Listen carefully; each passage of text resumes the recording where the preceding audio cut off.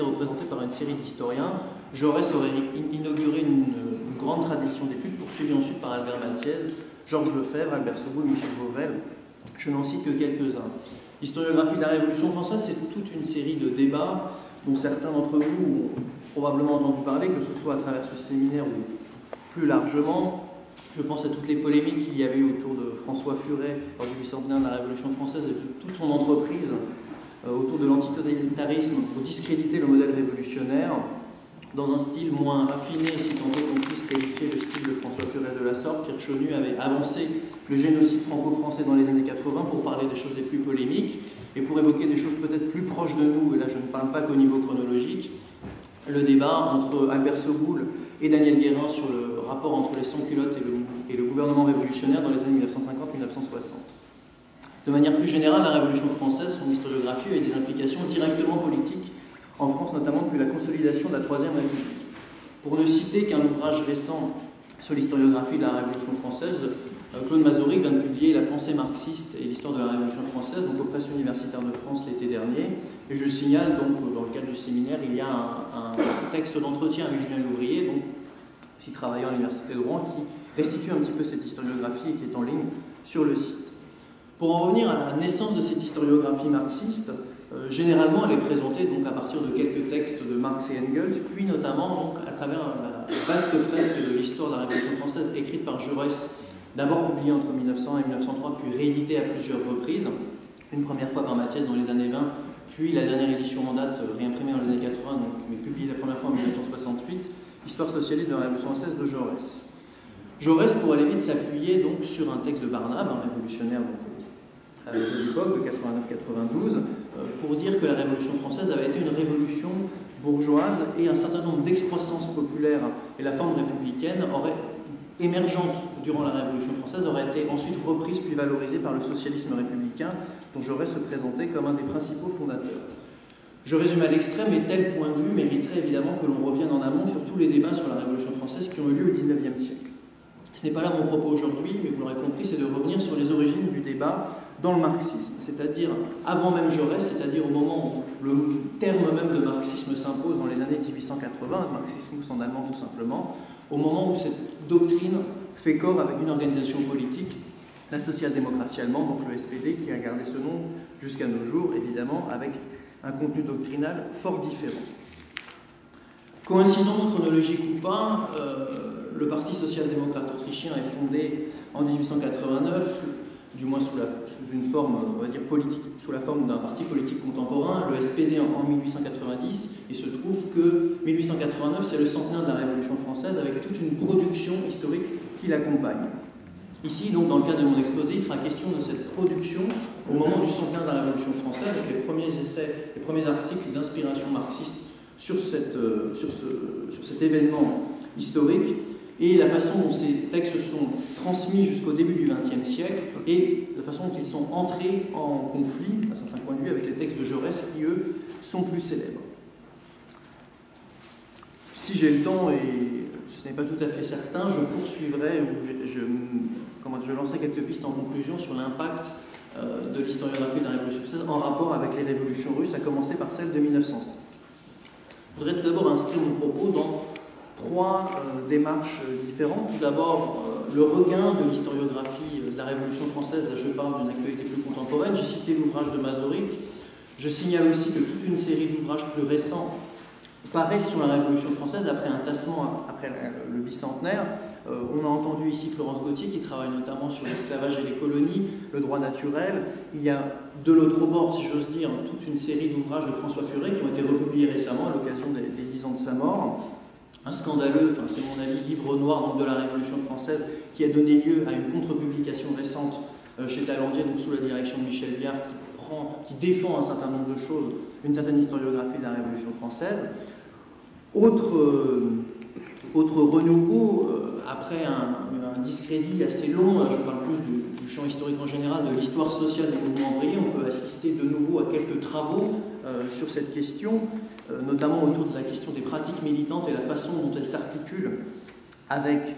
les organisations, et enfin, plus spécifique, plus relié à ce qu'on appelle l'histoire intellectuelle, une revalorisation, même timide, mais tout simplement c'est le nombre de mémoires soutenues là-dessus et le nombre d'articles qui paraissent qui en attestent. Je parle essentiellement du domaine francophone, d'ailleurs c'est autre chose. Euh, un regain d'intérêt pour l'histoire intellectuelle, euh, je dirais lié au mouvement ouvrier, tout simplement les intellectuels qui, dans le cadre des organisations politiques, se réclamant du marxisme dans un sens assez large, organisations socialistes et communistes pour aller vite, eh bien cela, euh, il y a un regain d'intérêt absolument certain pour la production intellectuelle qui ont émergé dans le cadre de ces organisations politiques. Voilà pour tracer un tableau historiographique très général. Je voudrais évoquer ensuite trois traditions euh, qui m'ont inspiré dans, mes recherches et ensuite je passerai directement aux approches plus spécifiques sur la Révolution française. Je voudrais tout d'abord citer un historien que certains d'entre vous connaissent peut-être, euh, mort prématurément en 1978, Georges Haupt, qui avait lancé notamment chez Maspero une grande collection qui s'appelait la Bibliothèque socialiste, dans laquelle il y a toute une série de classiques euh, qui avaient été réédités. Et il est l'auteur notamment d'un. Il n'a pas écrit beaucoup d'ouvrages en tant que tel, mais il avait écrit des articles extrêmement denses. C'est un, article pardon, qui s'appelle euh, De Marx au marxisme,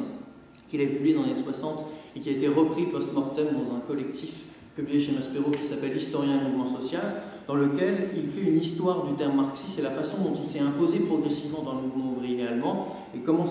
le, le fait que ce terme se diffuse a euh, une relation avec toute la systématisation, donc une certaine forme de matérialisme historique que la direction du SPD va tenter de transmettre à travers plusieurs ouvrages à ses militants. Ensuite, une historiographie plus actuelle, quoiqu'elle ait encore quelques liens avec, euh, euh, c'est ce qu'on appelle l'histoire croisée autour de Michael Werner notamment, c'est-à-dire les problématiques des interactions, les problèmes des traductions, la façon dont les traductions ont été, euh, dont les textes en allemand sur la Révolution française ont été euh, transmis en France et quels sont les canaux politiques qui ont autorisé donc, ces interactions. Euh, au-delà d'une simple histoire comparative, il s'agit d'une analyse même des résistances, des inerties, pourquoi on introduit un texte ou non sur un thème aussi polémique, et cela c'est tout à fait important.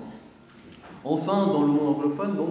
euh, je citerai un historien australien, ça peut paraître un peu saugrenu, mais il se trouve qu'il y a un certain nombre d'historiens australiens qui travaillent sur l'histoire du mouvement socialiste français et sur le mouvement ouvrier allemand, peut-être pour des liens historiques lointains, mais toujours est-il qu'il un historien qui s'appelle Bonnell notamment, qui a travaillé sur euh, la production, la littérature diffusée par le SPD, c'est-à-dire pas uniquement les textes théoriques, mais la façon dont ces textes théoriques connaissaient un certain nombre de déclinaisons au travers de petites brochures dans la presse militante de l'époque, etc. Et les connexions qui existaient entre cette littérature largement diffusée et les textes, pourrait-on dire, d'ambition politique plus, euh, plus élaborée. Pour en revenir aux approches de la Révolution française et donc à l'historiographie marxiste, évidemment, je n'aurai pas le temps de retracer toutes les analyses qu'ont produites Marx et Engels sur la Révolution française. La seule chose que je peux dire ici, c'est qu'il est difficile de tracer une vision unitaire euh, de, la Révolution française dans leurs écrits, que ce soit sur la période, la, une des plus controversées, 93, ce sont la période napoléonienne, en fonction de la conjoncture, notamment en fonction de la révolution de 1848, leurs analyses sont fluctuantes. Ce qui est marquant, et il faut le rappeler ici, c'est que Marx avait eu un projet, euh, notamment très tôt hein, dans les cahiers de Kreuzner, on a des notes de 1843, d'écrire un projet, euh, une histoire pardon, de la Convention nationale, projet qui n'a jamais pu aboutir pour des raisons euh, diverses. C'est ce projet-là qu'ensuite les sociodémocrates allemands vont reprendre en l'absence, si vous voulez, d'une histoire cohérente marxiste de la Révolution française, alors que par exemple, sur la guerre des paysans en Allemagne, donc l'ouvrage d'Engels très célèbre, il y avait déjà quelque chose, un ouvrage un peu canonique dont, on pouvait se servir pour ensuite reprendre des textes, les vulgariser, les diffuser dans une organisation politique. Sur la Révolution française, pas de choses systématiques jusqu'aux années 1880. De la même façon, il serait trop long de rappeler pourquoi la Révolution française a une telle importance pour les mouvements révolutionnaires émergents au XIXe siècle. Il y a un certain nombre de choses évidentes que vous connaissez. Peut-être faut-il rappeler simplement qu'un des une personne à l'origine de la social-démocratie allemande, qui avait bien connu Marx, qui d'ailleurs s'était beaucoup combattu avec lui, Moses Hess, est à l'origine de cette fameuse tripartition qui deviendra ensuite euh, canonique dans le marxisme. Hein a aussi euh, écrit des choses là-dessus, c'est-à-dire tripartition selon laquelle le marxisme est issu de la philosophie allemande, de la pratique politique française, donc de la Révolution française, et de l'économie anglaise, donc via la Révolution industrielle. Je simplifie un peu, et au XIXe siècle, les choses ne sont pas aussi claires, mais lorsque Kautsky va reprendre cette répartition et en faire quelque chose de systématique, les origines euh, sont bien ici. Et dans ce cadre-là, la Révolution française est un, quelque chose de tout à fait décisif, un modèle politique euh, que euh, les sociodémocrates vont entendre reprendre. La Ferdinand Lassalle, à l'origine du premier parti ouvrier contemporain, 1863, à la en français l'Association générale des travailleurs allemands, la salle donne des cours aux ouvriers qui sont premiers ouvriers organisés dans le cadre de ces associations, hein, ces Bildungsverein. Euh, la salle donne des cours sur la Révolution française et donne déjà quelques grands traits d'analyse, notamment autour des premières séparations sociales du prolétariat émergent euh, à partir des années 1790-1791. Mais pour aller un petit peu plus euh, vers notre sujet directement, les années 1880, il faut signaler que le SPD, donc c'est peut-être a été interdit il ne s'appelle pas encore SPD à l'époque. Enfin, la social-démocratie allemande a été interdite entre 1878 et 1890 par Bismarck. Et lors de cette interdiction, une des priorités du parti, puisque le parti ne pouvait pas développer d'activité politique euh, très facilement, étant interdit, bien qu'ils aient quand même gardé un groupe parlementaire, mais aux responsabilités limitées, eh c'est la formation militante qui va prendre le dessus. Et dans cette formation militante, la social-démocratie va commencer à construire un récit historique systématique sur les événements fondateurs. Et parmi ces événements fondateurs, il y a bien évidemment la Révolution française. Donc en 1889, je le disais au départ, c'est le centenaire. En France, il y a beaucoup d'études sur la façon dont le centenaire sert à la consolidation de la Troisième République. Évidemment, en Allemagne, le contexte est tout autre. Bismarck organise même des contre-commémorations pour vanter la tradition allemande et les libertés germaniques, de la longue tradition allemande qui rompt justement avec, euh, qui est pardon, différente de l'histoire de française qui est une histoire faite de rupture, de révolution non naturelle pour aller vite. Et face à ce que dit Bismarck, les sociodémocrates vont produire toute une série de textes, et le plus éminent d'entre eux, l'un des plus éminents d'entre eux à l'époque, euh, Karl Kautsky, euh, son éminence n'est pas un jugement de valeur de ma part, on pourrait en discuter, mais tout simplement c'est lui qui a lancé la revue théorique vouée à, une grande postérité, donc la Neue Zeit, qui a fondé en 1883 à Stuttgart, et c'est la revue théorique euh, la plus prestigieuse de l'époque, y compris au-delà même euh, du champ du marxisme. Cette revue était lue euh, très largement. Et c'est dans cette revue donc, que Kautsky publie une série d'articles qui s'appelle en allemand Die Klassengegensätze von 1789, donc tout simplement les contradictions de classe en 1789, série d'articles où il entend résumer, à partir du matérialisme historique, je dirais assez élémentaire, la façon dont les classes sociales ont évolué pendant le processus révolutionnaire et ce n'est pas une histoire qui est stricto sensu, comme celle de Jaurès ensuite, euh, plutôt sur les événements révolutionnaires eux-mêmes, mais sur les processus sociaux à l'échelle du 18e, 19e siècle, avec la place spécifique qui occupe la Révolution française. On a notamment des développements très importants sur la, paysannerie sous l'Ancien Régime, et il est d'ailleurs, bien qu'il n'ait pas accès aux archives à l'époque, puisqu'il est à Vienne et donc il travaille sur la littérature secondaire, il est un des premiers à se consacrer à l'histoire, pourrait-on dire, par en bas de la Révolution française, et à ce titre, c'est tout à fait singulier. Donc, outre ce contexte, je dirais presque matériel, hein, qu'il est important de rappeler, c'est-à-dire que, en premier lieu, c'est une série d'articles dans une revue qui devient ensuite un petit ouvrage extrait de, ces articles, remanié d'ailleurs suite à, quelques commentaires d'Engels. il faut justement rappeler le, rôle spécifique d'Engels par rapport à, à l'époque, qui n'est pas que le rôle particulier que je viens de signaler, à savoir que Engels commente l'ouvrage de Kautsky, il y a une correspondance assez célèbre, hein, il y a une lettre d'Engels qui critique sur un certain nombre de points, je ne vais pas attendre d'y revenir, vous la trouverez dans la collection de textes qu'avait préfacé Claude Mainfroy sur la Révolution française, Marx Engels aux éditions sociales, 83-84 dans mon souvenir. Ce qui est important, c'est que Engels a publié un ouvrage que vous connaissez certainement, qui s'appelle L'Anti-During en 1878, qui est une sorte de bréviaire de matérialisme historique appliqué à toute une série d'événements, et que cet ouvrage est un des plus lus, un des plus diffusés parmi les cadres du Parti social-démocrate, et que c'est à partir de lui, à partir de cet abrégé, que l'on va décliner toute une série de choses notamment une lecture systématique euh, du passé et des précurseurs du socialisme. Il y a la Révolution française, mais il va y avoir toute une entreprise dans le sillage de l'anti-During euh, mis en place par les sociodémocrates allemands qui va être une sorte de grande histoire. Ce type de grande histoire, d'ailleurs, les partis communistes en, écriront énormément au XXe siècle. Les sociodémocrates en ont lancé une à la fin du XIXe siècle qui est d'ailleurs inachevée, avec tout un collectif d'auteurs. Euh, on dirait aujourd'hui une sorte de comité éditorial international, puisque Paul Lafargue y a écrit certains chapitres.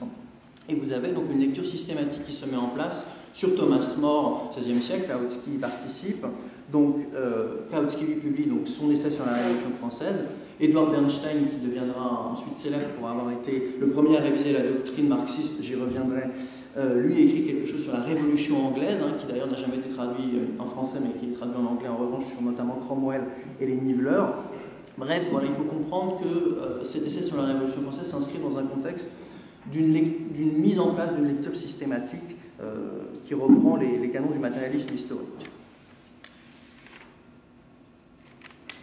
De manière plus euh, globale, il faut aussi signaler, c'était implicite hein, au travers de ce que j'ai dit sur Marx au départ, c'est que tous les courants politiques tels qu'ils soient, y compris les plus réactionnaires, avaient en quelque sorte leur histoire de la Révolution française, ils avaient tous, étaient tous positionnés, avaient tous écrit dessus, y compris en Allemagne, hein, parmi les, les ouvrages les plus importants dans l'historiographie de la Révolution française, il y a notamment le prussien Heinrich von Siebel qui avait écrit quelque chose qui a été repris ensuite dans l'historiographie. Eh bien, le marxisme, en train de se constituer, en train de faire corps avec une organisation politique, et en 1889, il faut aussi dire, c'est la création de la deuxième internationale à Paris 14 juillet, donc la volonté pour les Allemands d'avoir toute une série de textes qui vont pouvoir diffuser ensuite dans le cadre de la deuxième internationale, eh bien pour cela, il fallait que le courant politique, la deuxième internationale naissante, ait un texte euh, on va dire, canonique qui puisse ensuite diffuser dans le cadre des organisations socialistes et social-démocrates en Europe. Je ne développerai pas plus sur le contenu de, ce que dit Kautsky, peut-être pourra-t-on y revenir ensuite. Euh, je voudrais signaler qu'il ne faut pas isoler euh, Kautsky de toute la production que va publier le Parti social-démocrate à l'époque, puisque c'est ça qui permet de comprendre la spécificité de l'historiographie marxiste. En effet, la même année, quasiment quelques mois après, il y a un autre ouvrage sur la Révolution française qui est publié. Alors lui, il n'a jamais été traduit en français. Il est, d'ailleurs formellement sur le contenu beaucoup moins intéressant, mais la façon dont la social-démocratie est utilisée euh, l'est plus. Cet ouvrage, c'est un ouvrage de Wilhelm Bloss, un B-L-O-S, euh, qui est un ouvrage très romancé, qui raconte les grandes figures de la Révolution française, avec, on va dire, une sympathie, une empathie pour les, les figures populaires de cette révolution, mais qui n'a pas le niveau d'élaboration théorique, pourrait-on dire, de Kautsky. Simplement, cet ouvrage, donc, publié par un social-démocrate, qui à l'époque est connu, qui est parlementaire et qui va être un grand orateur du parti, hein, donc, y compris en termes d'identification, les militants s'y reconnaissent et lisent beaucoup cet ouvrage. Eh bien, entre euh, l'ouvrage de Bloss et l'ouvrage de Kautsky, on retrouve finalement une séparation qui sera ensuite quasiment gravée dans le marbre dans les bibliothèques ouvrières lorsqu'elles vont se développer et que le SPD va vraiment euh, les, multiplier. Euh, division entre un ouvrage théorique, petite brochure de 100 pages, hein, le cas de Kautsky, et une littérature beaucoup plus, euh, on va dire, impressionniste sur un certain nombre de choses, mais qui peut être diffusée plus largement auprès des militants. Donc type de division que l'on retrouvera ensuite et qui recoupe d'ailleurs euh, dans le cadre de ce que la réflexion, de ce qu'est la réflexion de sur les intellectuels, type de division même entre les différents niveaux de production qu'il faut avoir pour qu'une organisation politique se tienne. Je cite simplement hein, le les livres seront diffusés par exemple dans un certain nombre de, bibliothèques, entre, euh, divisés pardon, entre lecture instructive et lecture récréative, et on trouvera ces deux ouvrages sur la Révolution française mis euh, comme tels ensuite. Cette volonté donc d'avoir toute une, littérature à, différents niveaux, pourrait-on dire, euh, est très liée donc, à, compris, à, l'idée de formation dans l'organisation social-démocrate, qui, au-delà de la spécificité des organisations ouvrières, renvoie à l'idée de Bildung, alors qui est concept donc issu plutôt des élites allemandes, hein, qui peut être traduit de différentes façons, formation, éducation, culture. Donc à l'origine, les cercles libéraux qui encadraient les ouvriers au milieu du XIXe siècle employaient cette formation-là, et cette idée-là de formation va être reprise et évidemment développée par la social-démocratie. Et dans ce cadre-là, des écoles de formation émergentes dans les années 80 vont s'approprier tout un récit historique dans lequel la Révolution française occupe une place majeure. Mais vous l'aurez compris, pour que cette révolution occupe une place majeure, il fallait toute une série euh, d'articles, d'ouvrages, ce qui n'était pas le cas donc euh, jusqu'au centenaire de la Révolution française. Et c'est en cela que j'insistais dans le titre sur la, naissance d'une historiographie. Euh, à l'opposé de, pourrait-on dire, de cette volonté de vulgariser, il ne faudrait pas non plus avoir l'image de Kautsky, ou même c'est le cas de Plekhanov, c'est un social-démocrate russe que vous connaissez certainement, mais qui écrit beaucoup, qui est traduit dans la Neue Zeit, n'avait pas pensé qu'il y a simplement une, vulgate, une vulgarisation de quelques euh, concepts euh, rapidement élaborés, puisqu'il y a dans la Neue Zeit, par exemple, la volonté progressive de rendre compte de tous les ouvrages ou une partie d'entre eux qui paraissent sur la Révolution française et de les critiquer du point de vue du matérialisme historique. Et c'est là-dessus euh, qu'il y a un intérêt spécifique qui pourtant pas signalé souvent lorsqu'on travaille sur un Zeit. Des comptes rendus d'ouvrages, on voit bien la volonté des sociodémocrates, je parle de la Révolution française, mais c'est le cas sur toute une série d'ouvrages, y compris l'économie politique pour des raisons évidentes, de créer une sorte de contre-historiographie sur la Révolution française, d'avoir leur propre vision et d'affirmer sa pertinence face aux derniers travaux euh, parus sur ce sujet. Au niveau de la formation et de l'éducation,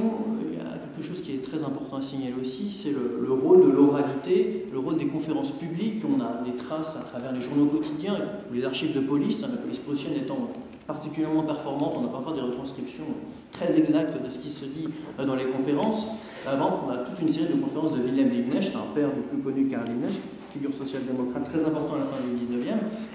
qui euh, fait toute une série de conférences orales à la sortie d'usine pardon, sur Robespierre. C'est le cas aussi dans, le, dans, le quotidien Le Fort Vert, c'est un quotidien du parti, toute une série de conférences euh, très évidemment euh, très simplistes hein, sur la vision de la Révolution française, mais il y a bien entre 89 et 93, toutes les années du centenaire, la volonté de, diffuser euh, cette histoire-là. Idem, je pourrais citer d'autres exemples, il y a des pièces de théâtre hein, qui sont euh, mise en place à l'époque. Il y a tout un théâtre ouvrier qui se veut une alternative au théâtre bourgeois, alors avec toute une série de débats, comme d'ailleurs sur le, réalisme hein, qui traverse la social-démocratie. simplement pour signaler qu'un certain nombre de pièces de théâtre sont mis en place par la social-démocratie. Et je signale, par exemple, que le Volksbühne, hein, qui va être le théâtre du, un des théâtres du Parti social-démocrate, c'est lui à avoir mis en place la première représentation de la célèbre mort de Danton de Buchner première représentation qui est faite en, 1900. À cet ensemble, il faudrait ajouter aussi euh, ce qu'on appelle en allemand les Arbeiterkalender, qui pourrait être traduit en français les almanachs ouvriers. Alors, il n'y a pas vraiment l'équivalent dans les courants socialistes français à la fin du XIXe siècle, il y aura en revanche l'équivalent lorsqu'il y aura euh, des partis de masse encadrant euh, réellement les ouvriers, comme les partis communistes, et c'est les almanachs ouvriers. Et dans ces almanachs, on peut voir des déclinaisons des ouvrages que j'ai cités précédemment, des reprises simplifiées euh, du contenu sur la Révolution française, mais qui permettent, si vous voulez, de voir à quel point la volonté de transmettre euh, cette histoire était, était très présente. Idem, de façon encore plus euh, simpliste d'un certain point de vue, les agendas ouvriers, chaque membre du Parti social-démocrate avait un agenda, un calendrier historique donné lorsque vous vous abonniez au quotidien, et les abonnés au quotidien à cette époque-là étaient extrêmement nombreux. Vous avez le rappel simple de quelques grandes dates de la Révolution française, de quelques événements euh, qui sont inutiles de citer tellement qu'ils sont évidents, mais qui montrent bien l'imprégnation de cette culture historique, au-delà même d'ailleurs du seul cas de la Révolution française, qui traverse euh, les partis sociaux-démocrates de cette époque-là. Je voudrais maintenant développer quelques aspects plus sur le contenu des débats suscités par euh, l'objet Révolution française dans le cadre de la social-démocratie. Ce qui est certain, c'est qu'entre 1889 et 1893, euh, on célèbre l'œuvre de la Révolution française. Je cite un almanach ouvrier. Hein, euh, en 1893, il y a un article d'un agenda. Cela fait 100 ans que la Révolution française avait atteint son apogée en 93. Donc Rosa Luxembourg, à cette époque-là, donc euh, partagée entre la Suisse et Paris, écrit un ouvrage,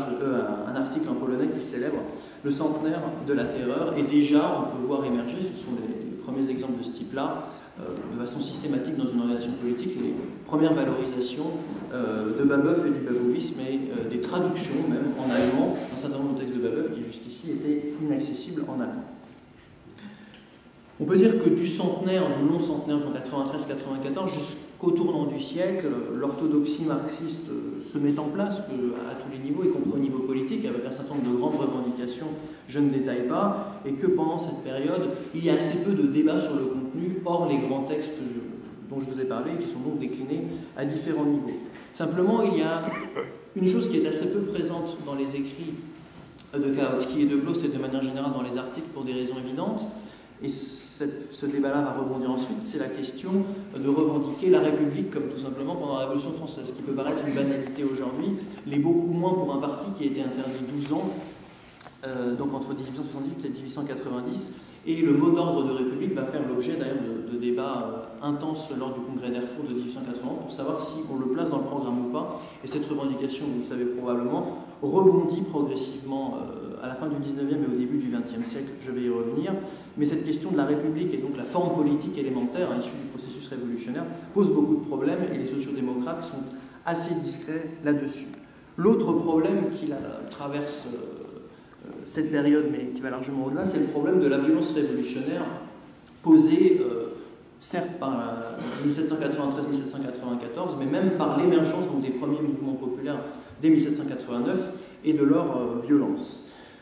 Edouard Bernstein, qui à l'époque euh, n'est pas euh, le révisionniste, je mets des guillemets, hein, c'est le terme historique consacré euh, que l'on va connaître à la fin du XIXe siècle, en 1887, avait traduit de Gabriel Deville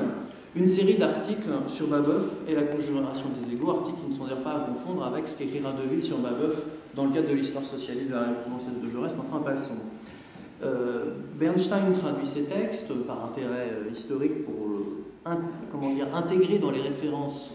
du socialisme allemand euh, le Babeuf et le babouisme, mais écrit à cette occasion une préface et une postface, la préface étant essentiellement consacrée à des rappels historiques pour que le public allemand puisse comprendre de quoi il s'agit, la postface étant beaucoup plus intéressante, en tout cas pour nous, puisque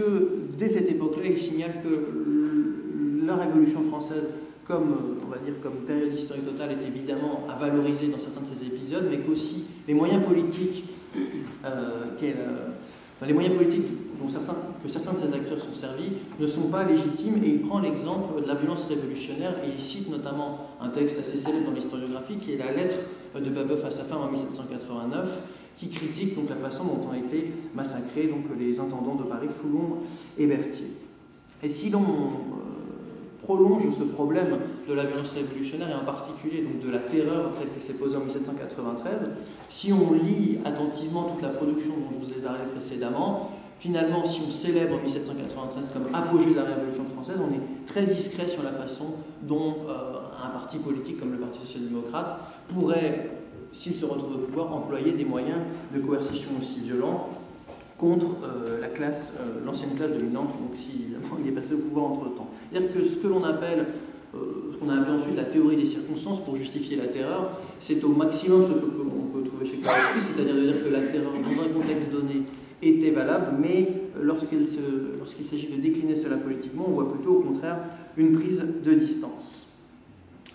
À la fin du XIXe siècle, vous le savez, c'est un changement cardinal hein, dans le dans la social-démocratie allemande, mais plus largement dans le socialisme international, c'est la polémique autour du révisionnisme. Edward Bernstein donc, remet en cause la doctrine principalement euh, sur deux plans. Euh, c'est pas forcément sur le plan historique que c'est le plus connu, mais sur le plan doctrinal, en prenant un retour à Kant, sur le plan économique, en constatant que les ouvriers allemands ayant euh, comment dire, gagner un certain niveau de vie, eh bien finalement les perspectives révolutionnaires tant attendues ne sont plus à l'ordre du jour et qu'il faut trouver un certain nombre de compromis et que les réformes désormais doivent être totalement assumées euh, par le Parti social-démocrate. Et dans, l'ouvrage, euh, qui en français est traduit par euh, les présupposés du socialisme, il dit la chose suivante, en parlant de la ligne générale du Parti social-démocrate. À ce niveau, nous n'avons pas dépassé la théorie initiale inspirée par la Révolution française. Et si on regarde tout ce qu'a écrit Bernstein à l'époque, je ne parle pas uniquement de, son ouvrage, mais de plus largement ce qu'il a écrit dans des articles, dans une revue concurrente à la Neue Zeit, hein. j'y reviendrai si j'ai le temps, c'est intéressant, Bernstein euh, met en place toute une sorte de dispositif éditorial, y compris sur le plan euh, de l'histoire, pour promouvoir une autre lecture. Euh, donc dans la Sozialistische Monatshefte, un cahier mensuel socialiste, Il écrit toute une série d'articles pour minimiser finalement euh, le rôle historique de la Révolution française et pour prendre ses distances avec le modèle politique euh, dont il est l'inspirateur. Vous, savez peut-être que sa principale cible est tout de même le blanquisme et donc la prise du pouvoir révolutionnaire par une minorité, je ne détaille pas. Mais ce qui est intéressant, c'est que le blanquisme, il le fait remonter par simplification historique, euh, malgré tout, au, babouisme et à la violence dont le babouisme serait porteur, et euh, condamne donc de façon plus générale tout ce qui sont les, fondamentaux du, Parti social-démocrate. Par exemple, la, dictature de prolétariat, donc terme évidemment euh, polémique dans la, dans la social-démocratie allemande, lorsqu'Engels avait republié la critique du programme de Gotha en, 1891 dans la perspective du congrès d'Erfurt, donc texte de Marx ou la dictature du prolétariat. Ces termes avaient été repoussés donc, par la, la majorité du Parti social-démocrate, mais malgré tout, officiellement, y compris Kautsky, revendiquait sa dictature du prolétariat sans même d'ailleurs parler réellement du complot de ce qu'elle aurait pu impliquer s'ils avaient eu le pouvoir. Mais ce qui est intéressant, c'est que Bernstein met les pieds dans le plat d'un certain point de vue et critique cela en disant la chose suivante. Marx et Engels, je parle, c'est les présupposés du socialisme, en élaborant leur théorie de la dictature du prolétariat, avait pris pour modèle la période de la terreur sous la Révolution française et il signale plus loin, au sujet d'une hypothétique imitation de 1793 si la social-démocratie devait occuper le pouvoir, que la dictature de classe est désormais une idée qui appartient à une culture historique périmée. De manière générale, Kautsky, euh, lorsqu'il critique Bernstein, revient sur ces points, mais lorsqu'on lit la défense du marxisme par Kautsky, et même dans une certaine mesure par Rosa Luxembourg, on voit que sur ces points, sur la condamnation de la violence et de la terreur révolutionnaire, il n'y a pas vraiment euh, de réponse là-dessus. Euh, récemment, il y a quelques années maintenant, a été publiée toute la correspondance euh, entre Kautsky et Bernstein, qui était disponible mais absolument illisible, sauf à déchiffrer vraiment de, ne pas très bien du gothique de l'époque, bref, là vous avez désormais les, deux volumes qui sont établis, et donc on peut voir à quel point cette notion de modèle révolutionnaire et la façon dont on peut le reprendre pour la politique contemporaine est particulièrement euh, critiquée par Bernstein. Je cite une lettre euh, de Bernstein à Kautsky de 1898, donc euh, juste avant que, au, cœur de, enfin, au moment où Bernstein rédige ses articles et ensuite il va les mettre sous forme d'ouvrage, où il critique particulièrement la dictature jacobine. Je cite Le jacobinisme et, la démocratie sont des contraires qui se retrouvent de façon permanente dans l'histoire, dans toute l'histoire moderne pardon, du socialisme et du mouvement populaire, etc. Je coupe légèrement la phrase. Euh, ce qui est intéressant, c'est qu'il va, dans toute une série de publications, il va opposer systématiquement la culture politique représentée par le jacobinisme issu de la Révolution française et la culture social-démocrate allemande de compromis euh, qu'il entend promouvoir plus largement. Donc il y a bien, dans le cadre du révisionnisme, une première réflexion là-dessus. Et pour relier ces débats à d'autres débats d'ailleurs qui vont occuper des, des décennies euh, d'historiographie, euh, la façon, la place même historique de la Révolution française euh, dans ce qu'elle entend être,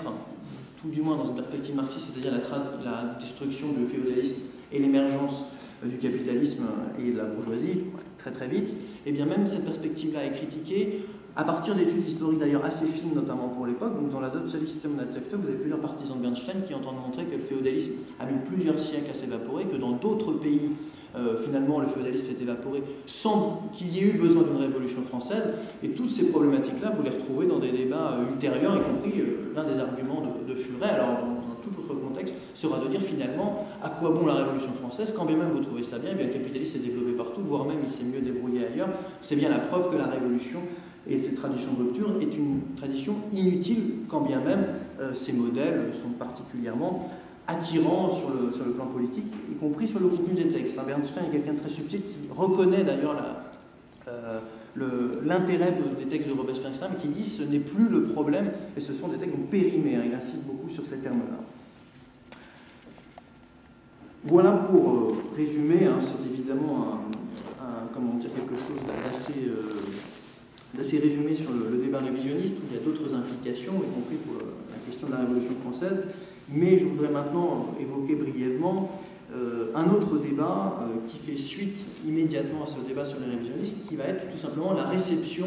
euh, de l'histoire socialiste de la Révolution française de Jaurès, puisque, je vous l'ai dit donc en introduction, l'histoire socialiste elle est publiée entre 1901 et 1903, donc les années qui, succèdent juste après le révisionnisme et la façon dont les Allemands vont critiquer l'histoire socialiste de la Révolution française est tout à fait significative, critiquée ou pas d'ailleurs, puisqu'on va voir que les lectures sont plus complexes. Et si on trace un panorama de l'époque, on va voir que, que ce soit Kautsky, Bernstein, Jaurès, et du côté français, donc les adversaires de Jaurès, Jules Gade et Paul Lafargue. J'évoquerai aussi, si j'ai le temps, un peu un autre social-démocrate connu, Franz Mehring, puisqu'il sera un des fondateurs, donc enfin, il sera dans l'aile gauche du Parti social-démocrate, puis ancien ensuite un fondateur du spartakisme, mort en janvier 1919, lui pas assassiné, mais mort de sa belle mort puisqu'il était très âgé. Et bien, tous ces acteurs-là, on nous disent quelque chose sur l'histoire socialiste de la Révolution française, et cela a partie avec tout ce qu'a élaboré Kautsky et quelques autres auparavant sur la Révolution française.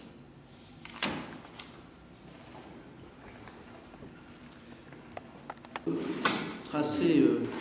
quelques, quelques euh, lignes élémentaires sur l'histoire socialiste de la Révolution française.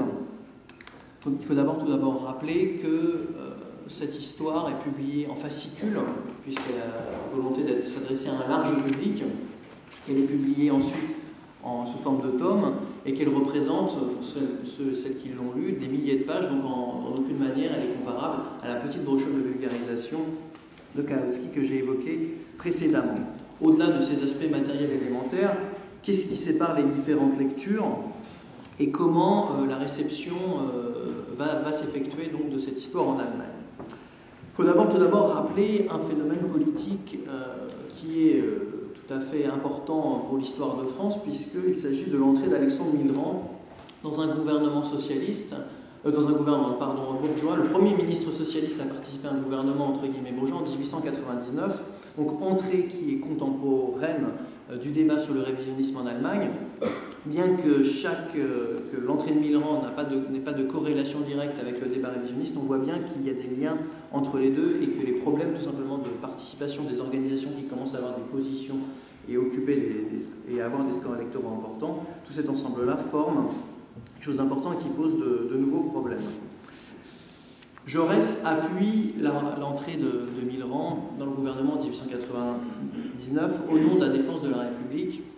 notamment dans le, sillage de, l'affaire Dreyfus, où Jaurès estime que, la République est menacée. Euh, je, vais assez vite. Ce qui est intéressant pour notre propos, c'est que euh, le socialisme français avait tenté euh, une première unification en 1899 et qu'elle a choc sur ce problème très précisément. Et qu'entre 1900 et 1902, donc la chronologie politique la recoupe la chronologie euh, de l'écriture même et de la publication de l'histoire socialiste, c'est la consolidation de, deux courants euh, qui viennent de traditions différentes du socialisme français, qui se formalisent en deux parties simples. Hein. le Parti socialiste français, plutôt autour de figures comme Jaurès, qui sont, on appelle aussi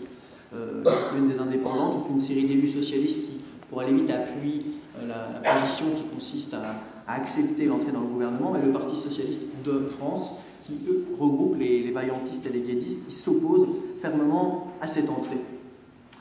Ce qui est intéressant, c'est que qui dit euh, deux organisations politiques dit deux dispositifs éditoriaux différents, deux tentatives d'élaboration euh, théorique différentes, etc. Et évidemment, sur cette question, la Révolution française est tout à fait euh, mobilisée, puisqu'il s'agit de défendre donc, la République en 1899, et que Jaurès par, en même temps, écrit cette histoire socialiste et la publie donc au fur et à mesure. quels sont les, différents dispositifs par exemple, éditoriaux des guédistes Alors, il y a toute une série de maisons d'édition dont, dont, certaines ne sont pas directement rattachées à eux, qui ont leur propre indépendance, mais qui vont publier une série de textes. ce qui est intéressant, c'est que c'est à ce moment-là que les guédistes voyant l'histoire socialiste de la Révolution française publiée par Jaurès, et voyant dans la vision républicaine du socialisme qu'a Jaurès une justification politique en quelque sorte de ce qu'il vient de faire en 1899, les yédistes tentent de promouvoir une histoire alternative de la Révolution française. Et cette histoire alternative de la Révolution française, eux qui n'écrivent pas beaucoup de manière générale, qui n'ont pas beaucoup de, formation théorique qui écrivent surtout des brochures, eh bien ils vont traduire tout simplement le Kautsky euh, de 1889 que j'ai évoqué tout à l'heure cette vision assez générale, classiste euh, de la Révolution française, qui résume à l'aide d'un matérialisme historique assez simplifié euh, euh, les, grands traits d'évolution de la Révolution française, leur paraît correspondre d'un certain point de vue à, leur ligne politique et en tout cas leur permet d'avoir une sorte de livre à mettre à disposition de leurs militants contre ce que est en train d'élaborer Jaurès. Ils éditent pour la première fois un texte qu'ils avaient écrit tous deux lorsqu'ils étaient en prison en 1883, un texte assez hostile, on va dire, à la, tradition de la Révolution française, à la République, dans laquelle ils voient une justification euh, de participation au gouvernement bourgeois. Ils exhument ce texte en 1903, juste après, toujours, toujours dans la même chronologie, d'avoir publié euh, le texte de Kautsky. Et d'ailleurs, pour la petite histoire, même si ça n'a pas eu lieu à l'époque, il y a quand même des échanges de correspondance tout à fait significatifs là-dessus, hein, qui se trouvent, je ne vais pas signaler au départ, mais la plupart des, archives que, j'évoque sont à l'Institut international d'histoire sociale à Amsterdam. Eh bien, euh, Jules Gued devait à l'origine préfacer l'ouvrage de Kautsky en 1901, alors même que Jules Gued était pressenti pour participer à l'histoire socialiste de la Révolution française, mais que pour des raisons politiques évidentes, il avait finalement, il était pour reprendre les termes de Jaurès, il avait souhaité rester étranger à l'entreprise, en dernière instance. Et on a euh, une lettre de Kawasaki qui remercie Gued de la préface à venir, qui ne viendra pas. Alors pourquoi? Euh, Peut-être tout simplement des raisons de temps peut lui mettre plusieurs hypothèses, c'est pas forcément la chose la plus intéressante ici. Et disait c'est très important pour nous, euh, sociodémocrates allemands, de savoir que notre vision, entre guillemets, réellement marxiste de la révolution peut pénétrer en France euh, puisque sinon c'est la place donc, au socialisme républicain de Jaurès que les, que les Allemands voyaient d'un assez mauvais œil, compte tenu des débats, y compris qu'ils avaient euh, chez eux avec Edouard Bernstein. La façon dont ce débat se prolonge est euh, significative, puisque au-delà de, de, la façon dont les guédistes s'emparent du texte de Kautsky pour contrer Jaurès, il faut voir qu'il va y avoir des tentatives de la part de certains Allemands, notamment d'Edward Bernstein, de traduire l'histoire socialiste de la Révolution française de Jaurès en allemand, tentatives qui ne vont pas aboutir. Et on en a là-dessus aussi des correspondances de Jaurès qui sont tout à fait significatives où il dit Bon, vous avez comme chez nous euh, des orthodoxes dogmatiques et nous nous cherchons à rouvrir le débat sur le socialisme et euh, Jaurès et Bernstein sont d'accord là-dessus. Ce qui est intéressant pour ceux qui connaissent l'histoire du socialisme, c'est que publiquement, Jaurès est avec Kautsky pour des raisons stratégiques, puisqu'il sait que c'est eux qui ont euh, la place la prédominante dans la deuxième internationale, et il sait, il a d'ailleurs raison, puisque que seule la deuxième internationale peut imposer au socialisme français une unification, ce qui se passera quelques années plus tard, mais que si on regarde les échanges plus souterrains, euh, même les échanges sur la question théorique, on voit que Jaurès et Bernstein en plus d'atomes crochus que les textes publics euh, ne, laissent paraître. On voit qu'il y a tout euh, là-dessus une histoire croisée particulièrement peu connue et à mon avis intéressante. Et, oui, pardon, je voudrais maintenant évoquer la, confrontation entre Kautsky et Jaurès, puisque Jaurès, dans son histoire socialiste de la Révolution française, ne critique pas et ne parle pas de l'ouvrage de Kautsky de 1889. En revanche, dans une revue, euh, Le Mouvement Socialiste, une revue à l'époque qui, est dirigée par Hubert Lagardelle, euh, qui est un socialiste plus ou moins indépendant à, cette époque-là, qui va ensuite devenir un des grands théoriciens du, syndicalisme révolutionnaire, puis il évoluera, puisque pour la petite histoire, il sera ministre de Travail de Vichy, mais enfin il aura entre-temps changé d'opinion à plusieurs reprises. Il y a Hubert Lagardelle dirige cette revue, le mouvement socialiste, qui ouvre ses colonnes à toutes les différentes sensibilités du socialisme international.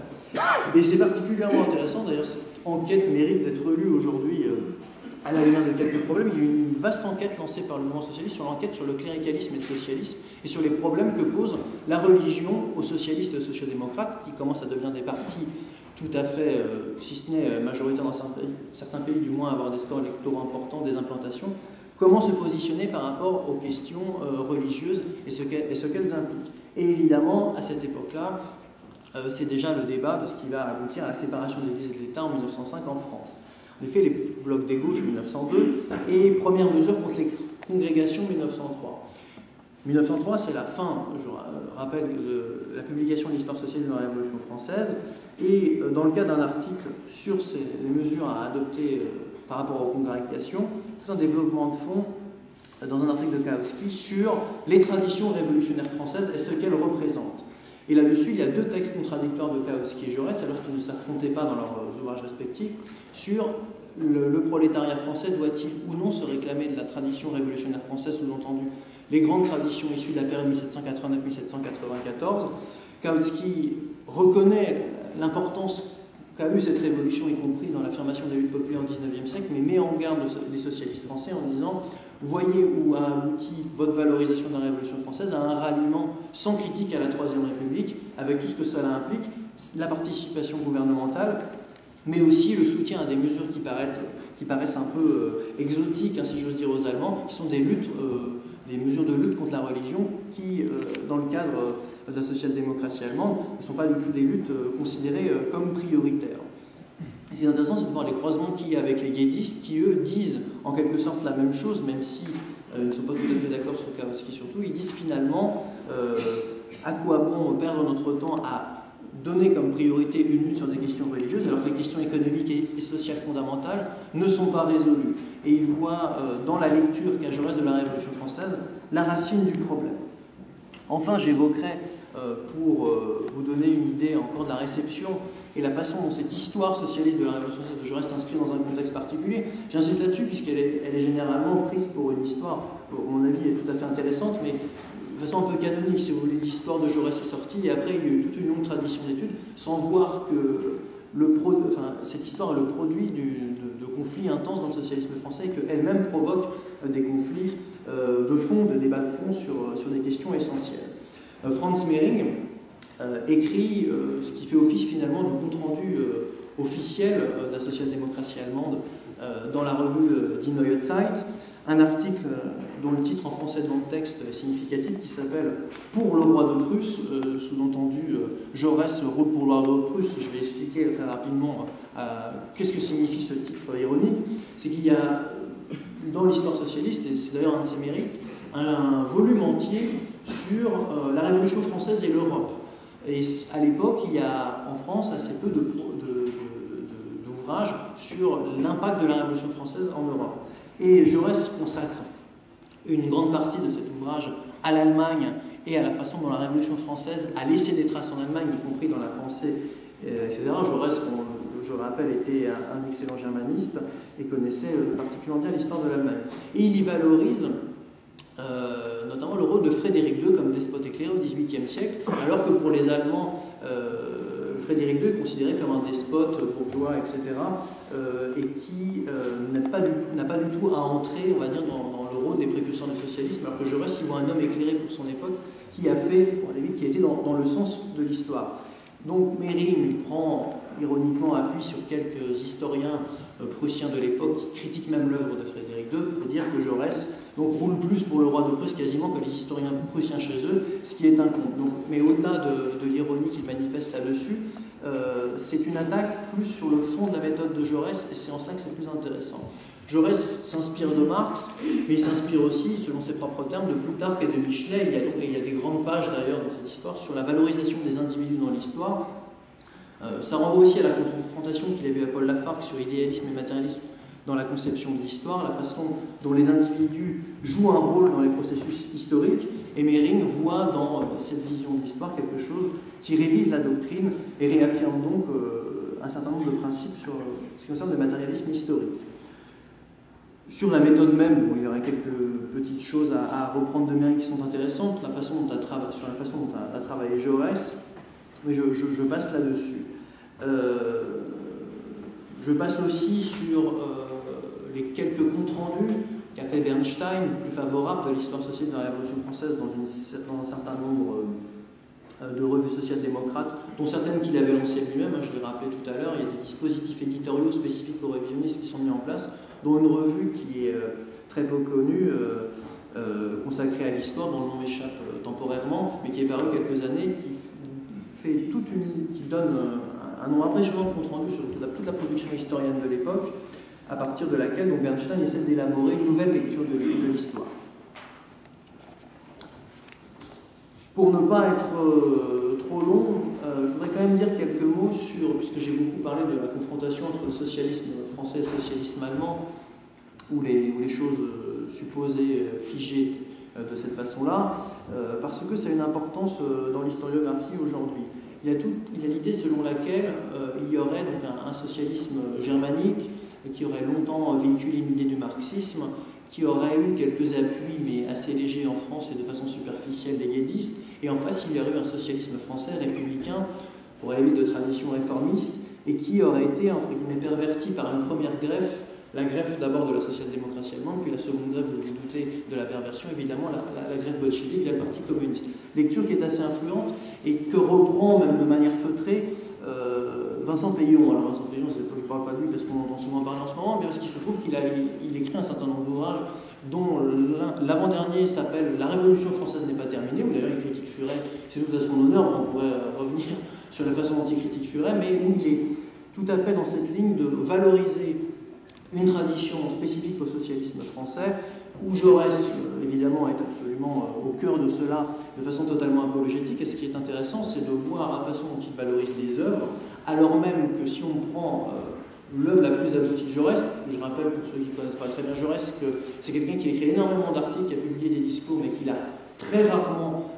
pris le temps, y compris les parlementaires politiques, d'ouvrir, de faire des ouvrages on va dire, qui ont un début et une fin, il y a beaucoup de choses qui sont réunies. Hein. L'armée nouvelle, qui est un de ses ouvrages les plus élaborés, est en fait une proposition de loi euh, sur l'armée qui est rallongée en quelque sorte. Eh bien, euh, ce Jaurès-là, qui est pris pour l'archétype euh, d'un modèle socialiste français autonome, on, voit bien tout le problème. Quand on mesure le, le niveau de débat qu'il y avait dans la social-démocratie allemande, quand on voit que Jaurès a cherché à prendre appui sur la révision de Bernstein, même de façon souterraine, pour discuter de sa conception matérialiste de l'histoire, on voit bien que ces oppositions-là n'ont pas de sens, y compris parce que, avec toutes les limites que ça avait, la Première Guerre mondiale l'a rappelé pour le moins euh, brutalement, euh, dans le cadre de la Seconde internationale, c'est parti et ces dirigeants se pensaient comme internationalistes et qu'il y avait là euh, quelque chose de tout à fait singulier qui ne peut, qui ne peut uniquement donner lieu à des séparations strictes entre espaces nationaux, ce qui ne veut pas dire que pour paraphraser un célèbre historien, les caractères originaux euh, nationaux n'est pas euh, leur importance, on voit bien qu'il y a des croisements qui sont tout à fait significatifs et importants à montrer. Je voudrais terminer euh, en évoquant quelques pistes sur ce qui va même se passer après. J'ai évoqué la, façon dont les premiers débats sur le marxisme, sur la Révolution française, pardon, dans le cadre de ce qu'on peut appeler le marxisme, donc au sens de Haupt, hein, la façon dont tout simplement les termes sont employés à l'époque même, euh, la façon dont ces débats vont se poursuivre à, la lumière de, quelques événements, notamment cette fois-ci des événements directement euh, révolutionnaires. Entre 1900 et 1905, si on prend les différents plans de formation euh, dispensés dans les écoles du parti, dans les écoles du Parti social-démocrate allemand, on observe un tassement, voire une diminution, voire dans certains cas une absence totale de l'enseignement de l'histoire de la Révolution française. Alors qu'entre 1889 et 1893-94, vous l'ai dit, les conférences orales, les formations, la Révolution française occupait une place tout à fait importante, entre 1900 et 1905, cette part décroît euh, singulièrement. Pourquoi On pourrait dire que d'un certain point de vue, à, droite euh, de la social-démocratie, Bernstein trouve que la Révolution française est porteuse de terreur, de modèles politiques alternatifs dont lui souhaite se séparer, et qu'à gauche, la Révolution française pour les Kautsky et quelques autres, apparaît comme une justification de ce que fait Jaurès en France. Donc la Révolution française n'est plus un modèle aussi opérant qu'il ne l'a été euh, dans les années précédentes. Et ce qui est tout à fait significatif, c'est qu'en 1905, euh, la Révolution française revient de façon spectaculaire dans les appareils de formation en occupant le premier plan. Je ne détaille pas sur, le contenu, euh, je signale simplement le, fait qui est tout à fait significatif. Pourquoi?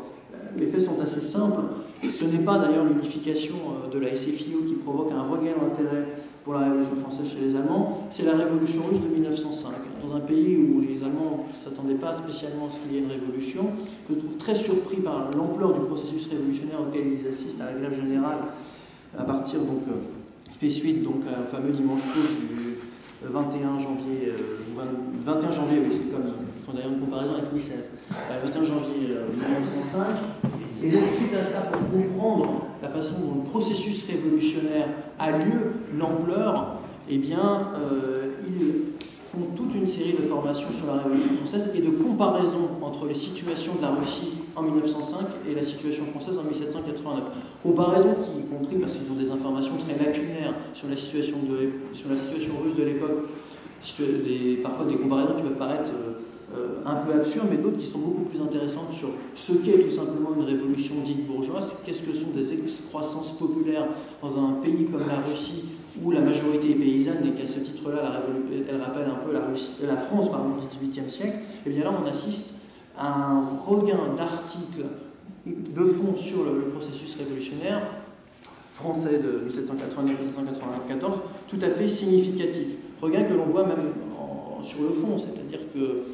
Kautsky va rééditer quelques années après euh, son ouvrage de 1889 avec une nouvelle préface, qui va y avoir au cours des années 1905-1906 dans la Neue Zeit toute une série d'articles sur la Révolution française, dont certains articles donneront lieu à un ouvrage important pour la social-démocratie, euh, qui en français donne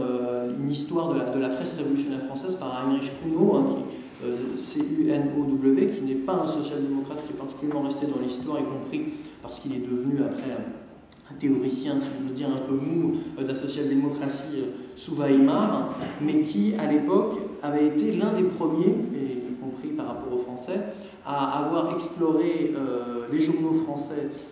de l'époque révolutionnaire et les avoir traduits en allemand et donné à lire au public social-démocrate ce qui étaient les textes de Marat, les textes de Robespierre, etc. Et tout ça s'effectue dans le sillage de la révolution de 1905, dans la confrontation finalement à, des nouveaux événements révolutionnaires. Je, ne parle même pas de l'impact qu'a la révolution de 1905 en, Russie, en Allemagne même, où il y a toute une série de grèves, toute une série de réflexions sur, euh, y compris ce qu'est un processus révolutionnaire. Mais on voit qu'au-delà des articles politiques euh, sur le moment contemporain, il y a une forme de ce qu'on appelle en, histoire de l'histoire immédiate de la Révolution de 1905, mais qui est en permanence ramenée à l'exemple révolutionnaire français de façon quasiment obsessionnelle. Et on voit euh, jusqu'à la Première Guerre mondiale donc une place tout à fait accrue de la Révolution dans les appareils euh, de formation. Enfin, et là-dessus il y aurait encore plus à dire, c'est bien évidemment euh, d'abord la Première Guerre mondiale et la façon dont évidemment la Révolution française est mobilisée en 1914 à des fins de propagande côté français, et la façon dont les Allemands, les sociodémocrates allemands ralliés à l'Union sacrée vont rejeter massivement la tradition de la Révolution française au nom des impératifs de propagande euh, de leur côté. Il serait intéressant de vous rappeler comment la gauche social-démocrate, notamment en Autriche d'ailleurs, un Friedrich Adler, euh, le fils euh, de Victor Adler, le grand dirigeant de la social-démocratie autrichienne, survalorise l'exemple de 89 pour justement faire pièce à, la propagande de son pays et même dénoncer les socialistes français qui instrumentalisent la référence alors qu'il y a, selon lui, donc un potentiel révolutionnaire euh, dans cette référence qui est tout autre que celle des propagandes mobilisées par les sociodémocrates euh, de tous bords. Et évidemment, il y aurait euh, beaucoup à dire sur 1917, la révolution bolchevique et la façon dont les analogies et là la terreur révolutionnaire vont être mobilisées. Ce n'est pas une grande surprise de dire que les bolcheviks vont se référer aux exemples de 93, hein, le croiseur Marat, les statues en plâtre de Robespierre et au-delà des anecdotes bien évidemment euh, les contraintes que représente une révolution comme la révolution d'octobre et les mesures de terreur euh, qui apparaissent comme nécessaires à l'image de ce qui s'est passé pendant la révolution française, il y a euh, dans la condamnation de Kautsky, qui à partir de là, jusqu'alors très valorisé, va devenir, le, fameux renégat, hein, la révolution prolétarienne et le renégat Kautsky, eh bien, dans la condamnation de Kautsky des bolcheviks, il y a l'idée selon laquelle euh, les bolcheviks répètent mécaniquement euh, ce qu'ont fait les révolutionnaires français en 93-94, alors qu'entre-temps, ben, finalement, tout va bien. Un parti social-démocrate est structuré avec des centaines de milliers d'adhérents, voire même qui dépasse le million dans le cas de l'Allemagne, euh, qui a la possibilité de canaliser les masses dans un sens pacifique vers le socialisme que finalement les bolcheviks sont, entre guillemets, attardés et qui n'ont pas compris qu'il fallait une révolution démocratique bourgeoise. Et tout cela est appuyé par des exemples assez euh, développé sur l'histoire révolutionnaire, pas que la Révolution française, mais principalement, dans son ouvrage donc, assez connu auquel répondra euh, Trotsky, d'ailleurs sous le même titre, qui est Terrorisme et communisme, hein, qui d'ailleurs a été réimprimé par les éditions du Centre l'an passé à l'impression de la, traduction de l'époque euh, de 1919. il y a tout un développement de Kautsky très long sur le fait que le 19e siècle a représenté un adoucissement des mœurs, hein, les termes sont extrêmement clairs, y compris c'est repris à d'autres historiens, et que euh, finalement le problème de la violence révolutionnaire a été résolu par l'histoire, qui évidemment n'est pas vraiment, euh, comment dire, d'une grande pertinence quand on lit ça a posteriori, mais il faut bien comprendre d'où viennent ces lectures et euh, vers, quoi, elles mènent. Et là, je n'ai pris que, l'exemple de la violence révolutionnaire, mais ce qui est intéressant, c'est que dès les années 1880, dans le cadre qui est celui d'un parti qui a peur de retomber dans l'illégalité, ces problèmes-là sont posés et que ces problèmes-là se retrouvent à l'échelle de plusieurs décennies en face donc de l'émergence de nouveaux processus révolutionnaires. Voilà, je m'arrête là pour continuer dans le débat sur un certain nombre de points. Je vous remercie.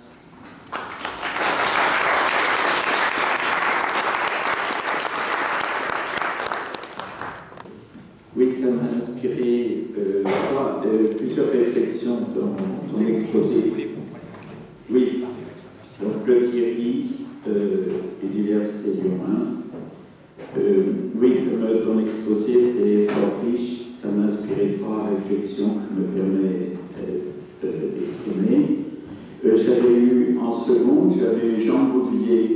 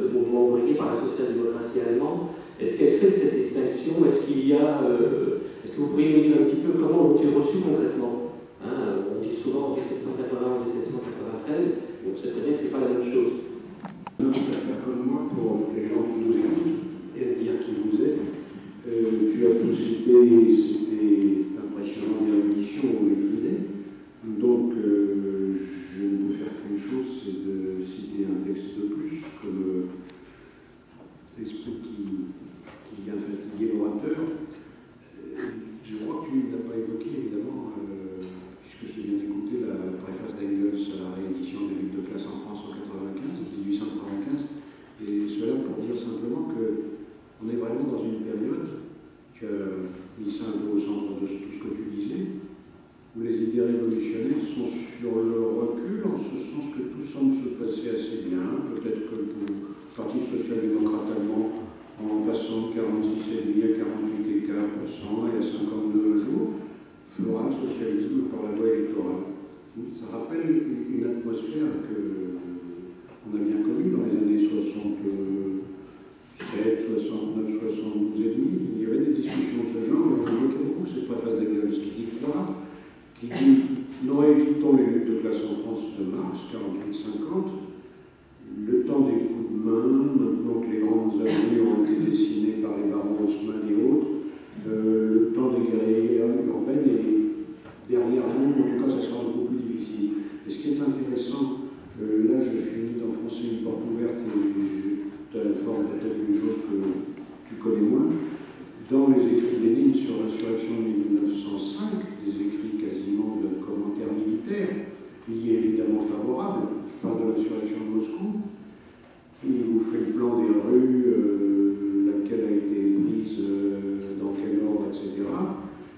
Bah, somme toute, il fait un bilan de l'échec de l'insurrection en disant que c'était vraiment très bien, mais que peut-être qu'il y a quelque chose de vrai, non pas chez les révisionnistes qui veulent que tout se passe avec des bulletins de vote,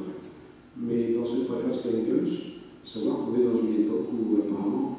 euh, l'insurrection euh, est, moins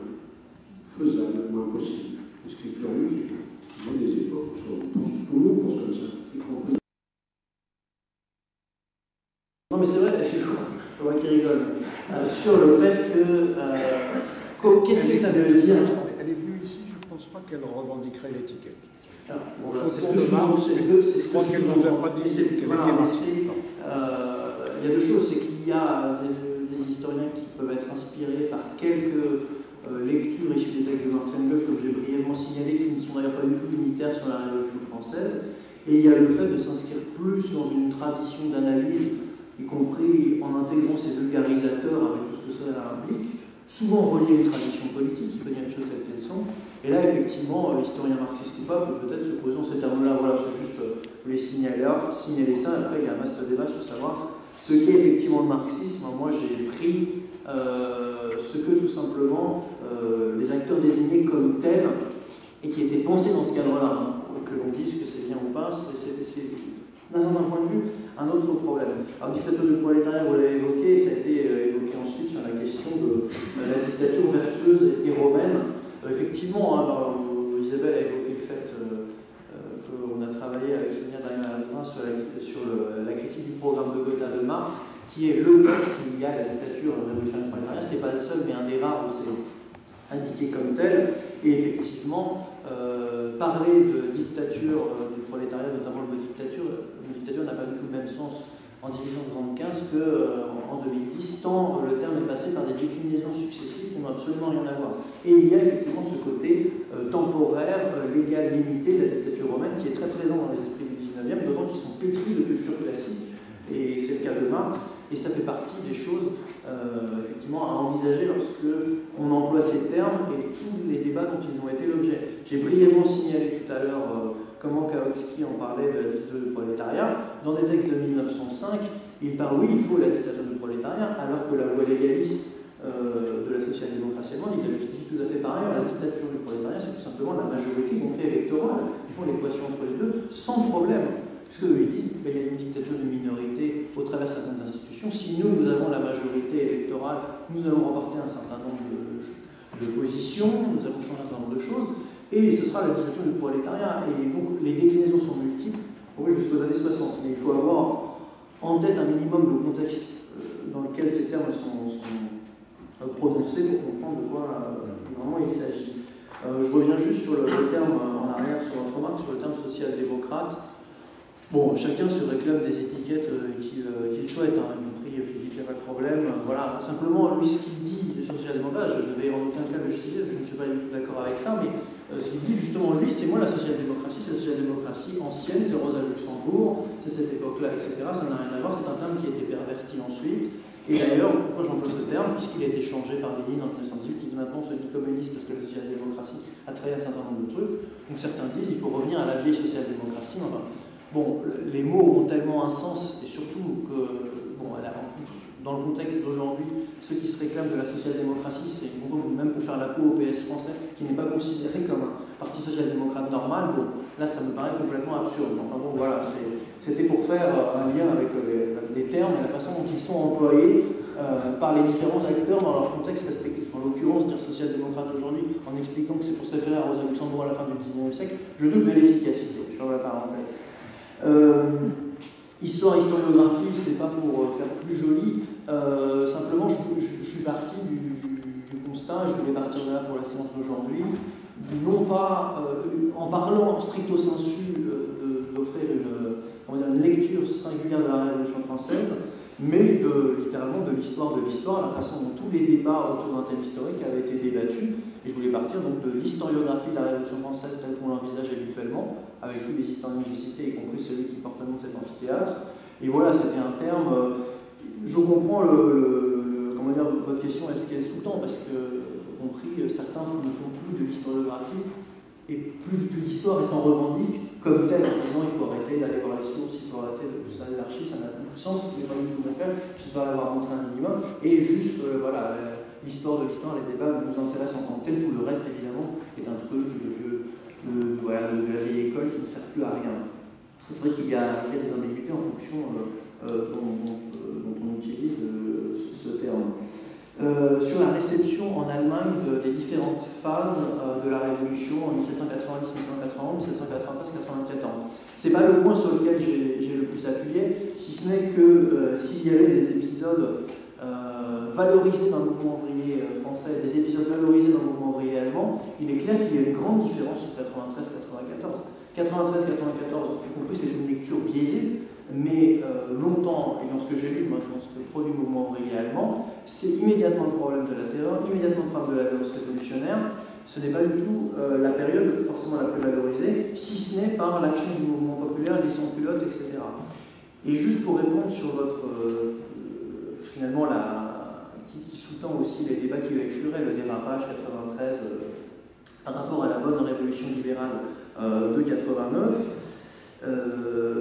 Pour les Allemands, c'est le cas de Kautsky, c'est le cas dans l'historiographie germanique de manière générale, la Révolution française est prise dans un processus beaucoup plus large qui intègre, je vais peut-être pas assez insister là-dessus, l'occupation napoléonienne, tout simplement pour les conséquences qu'elle a eues dans le pays concerné. Euh, Marx est né en Prusse rhénane, etc. Y compris, ça a beaucoup influencé sa démarche intellectuelle, puisqu'il y a des influences concrètes par l'occupation napoléonienne dans la partie d'Allemagne où il avait résidé et l'ouvrage de Kautsky a par exemple une partie très importante, y compris sur les accords diplomatiques pendant la période euh, du directoire et la période napoléonienne, qui ne,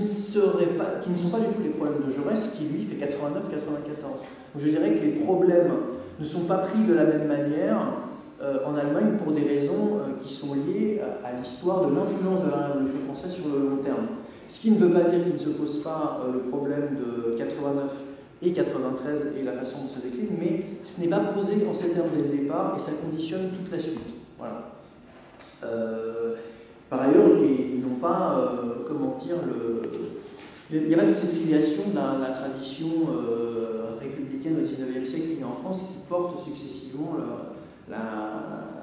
une partie de la tradition de la Révolution française. Donc, il y a des coupures très importantes en Allemagne après l'occupation napoléonienne, il y a reconstruction euh, d'un récit historique à partir d'influences qu'ils ont reçues. Et dans cette reconstruction, ils prennent un tout qui souvent intègre aussi donc l'importance de l'occupation napoléonienne. Enfin, sur ce qu'évoque Jean, sur la préface d'Engels de 1895, qu'effectivement j'aurais citer, puisqu'elle sous-tend beaucoup de choses. Donc pour mémoire, la préface d'Engels, c'est, au lieu de classe en France, c'est un des derniers textes d'Engels, qui envisage la possibilité d'une voie parlementaire vers le socialisme à travers les moyens légaux compte tenu de l'influence du Parti social-démocrate, etc. Euh, ce texte-là, de Bernstein, exécuteur testamentaire Engels, s'est appuyé euh, beaucoup dessus pour avancer euh, la révision de sa doctrine. il y aurait effectivement beaucoup de choses à dire sur la façon dont a été utilisé ce texte d'Engels, y compris la façon dont il a été coupé lorsqu'il a été publié la première fois par le Parti social-démocrate pour mettre en avant des aspects les plus légalistes, alors qu'il dit que c'est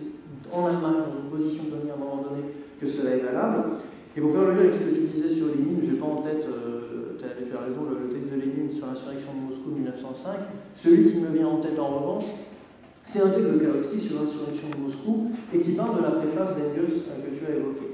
Euh, en 1905, je, crois que c'est fin de l'année 1905, où il dit, dans un article de la Neue Zeit, finalement, sur euh, le légalisme de notre parti.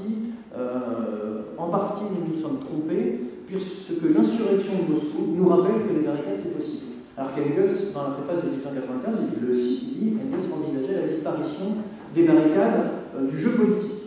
Et là, qu'il dit, il faut, d'une certaine point de vue, réviser notre doctrine et tenir compte de ces nouveaux faits, mais justement à la lumière de la révolution russe de 1905. Alors ça ne veut pas dire qu'après, finalement, ces choses-là euh, ont tellement été intégrés euh, dans la social-démocratie allemande, parce qu'il dit ça, dans mon souvenir, plus dans une optique. Bon, en Allemagne, globalement, ça va être parlementaire et légal avec quelques échauffourées, mais il faut quand même reconnaître qu'en Russie, visiblement, ça va plutôt se passer différemment, ce qui est cas en 1905 et ce qui sera à plus forte raison euh, le cas ensuite. Mais cette préface a joué effectivement un rôle capital et c'est toujours là-dessus que les uns et les autres s'appuient, d'ailleurs pour dire forcément des choses contradictoires, souvent d'ailleurs avec les textes canoniques du marxisme, on peut ressortir le texte en fonction de la façon dont on l'utilise. Et d'ailleurs, la direction du Parti social-démocrate, parce qu'on parle beaucoup euh, euh, de la manipulation des textes du XXe siècle, et je sais qu'il y en a eu, euh,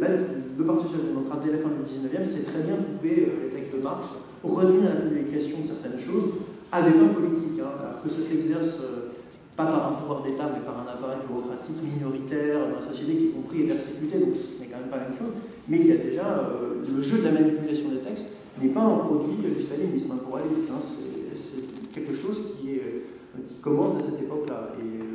ça me fait penser pour Texas c'est la même chose pour la publication de textes de Marx sur la critique de Gotha, qui est littéralement retenu par le parti, qui est interdit de publication par le parti. C'est parce qu'au dernier moment, ils, arrivent à le publier dans les Site que le parti le rediffuse ensuite pour ne pas se faire doubler. Mais bon, bref, passons sur le détail de ce texte-là, juste pour prolonger sur le texte de Engels. Voilà. Je laisse la parole aux autres. Euh, ce que dit, euh, on est d'accord, dans cet article très très long, c'est Engels a d'une certaine façon, ou en tout cas une interprétation d'Engels a été démentie par les faits, elle a eu lieu l'insurrection, mais tout compte fait, elle a été battue et battue de telle façon qu'il y a quand même une raison. Kautsky dit plutôt le contraire. Sur le texte, finalement, pas dans un sens extrêmement opposé à celui de Kautsky. Mais la position politique est évidemment autrement énergique. Je vais te poser une question, mais je commence par une remarque euh, en reprenant ce que tu viens de dire, en, terminant toi-même. Remarque qui concerne l'article que tu as écrit dans la, Revue internationale des livres et des idées, que je signale, puisqu'elle porte sur cette question de la traduction de, Marx en France, en, l'occurrence, et plus largement, euh, ce sont ces, problèmes-là qui sont, abordés à travers le cas français. Alors, justement, ma, question porte aussi euh, là-dessus. Tu donnes comme titre à ton intervention euh, la naissance de l'historiographie marxiste de la Révolution française. Et euh, je me demandais si on pouvait parler ici d'un marxisme sans Marx, euh, sans Marx et Engels d'une certaine façon. Alors, pour préciser un petit peu ma question, une chose est, frappante, tu as abordé un peu ce, point, mais c'est que tu le, précises peut-être un peu davantage. Une chose me frappe, c'est que dans l'analyse de la Révolution française proposée par Marx, il y a des transformations importantes qui concernent notamment la question de l'État de la genèse de la machinerie d'État et la manière dont, dans un premier temps, euh, Marx pense euh, le jacobinisme comme centralisation poursuivie, puis revient euh, sur cette analyse, la remet en cause, et pense à la Révolution française comme moment au contraire de, destruction des anciennes institutions féodales. Alors, cette transformation-là me semble être, aurait pu être pleine d'enjeux politiques aussi pour une lecture à l'époque dont tu parles, compte tenu de, ce contexte que tu as rappelé, la question de l'entrée du grand, la question telle qu'elle est perçue côté allemand par rapport avec, euh, l'État, euh, il semble que, finalement les, textes de Marx qui portent là-dessus ne soient pas lus et ne soient pas l'occasion d'une réflexion, alors même qu'ils pourraient être au cœur de, cette, analyse aussi la Révolution française. Est-ce que vous pouvez en dire un petit peu plus là-dessus? D'autant que la, correction que fait Marx de sa propre analyse se trouve notamment dans les textes sur la France, sur les luttes de en France et sur les 18 communs. J'ai vraiment besoin de cet enjeu Bon. Oui, je voulais euh, reprendre la question de Jaurès, parce que je crois que c'est intéressant d'insister, de, rappeler un petit peu, euh, de toute façon pas trop détaillée naturellement, on ne pourra pas, mais peu la méthode de Jaurès, elle est assez extraordinaire. C'est remarquable. Jaurès faisait une, collection de sources. Hein. C'est un livre qui est énorme, enfin c'est une grosse histoire de la région, parce que c'était une collection de, sources qu'il commentait. Il ne faut pas oublier euh, le, fait suivant qui, est intéressant, qui est important et, qui ne simplifie pas les choses, c'est que c'est pas Jaurès qui pouvait aller aux archives. Une fois de plus, enfin une fois de plus, il se trouve qu'il ne pouvait pas faire ce travail d'historien, quoi. Et il avait confié à deux personnes, donc il avait deux, nègres qui allaient aux archives, hein, et puis qui faisaient la sélection des archives, des sources qu'il allait, allait euh, commenter. Et chose très intéressante parce que euh, il faut ça dans la perspective euh, biaisée donc de, ce choix de sources qui n'est pas le fait de, de Jaurès, et Jaurès s'est trouvé comme ça. Alors intéressé par la question coloniale, par exemple, c'est important pour tout de savoir que Jaurès, c'est un des rares euh, cette période-là de l'histoire, euh, à l'époque de, en pleine colonisation, hein, euh, donc que quelqu'un fasse une critique du côté marxiste, parce que c'est aussi un point quand même assez aveugle de l'historiographie marxiste, tout ton avis bien sur la diversité des points de vue, hein. mais il y a quelque chose d'étrange dans toute cette période et jusqu'à quasiment euh, le bicentenaire, quoi, euh, une espèce de, de, lacune formidable sur cette question coloniale. Bon, mais rapidement, dans Jaurès, lui, l'introduit, euh, il fallait nous pose des problèmes tout à fait intéressants sur la santé conséquences, puis après, pour mystère, pourquoi Je ne sais pas, je, on ne peut pas savoir. Il ne sait pas que la Convention